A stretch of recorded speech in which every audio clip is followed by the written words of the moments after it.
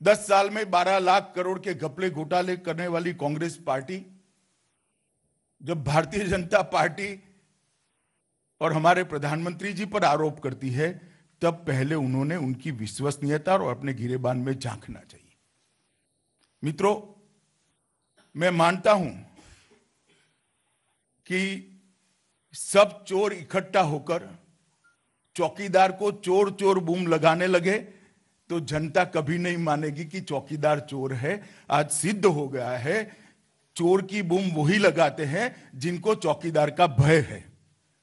आज ये साबित हो गया है कि बूम लगाने का कारण, चिल्लाने का कारण इनके अंदर का भय है।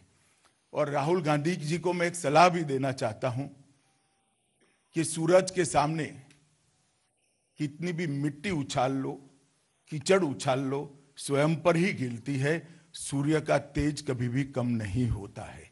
इस बात को नसीहत माने और आगे आने वाले दिनों के अंदर ऐसी बचकाना स्टाइल के आरोपों से बचते रहे तो शायद उनकी विश्वसनीयता बढ़ाने में उनको थोड़ी मदद मिलेगी।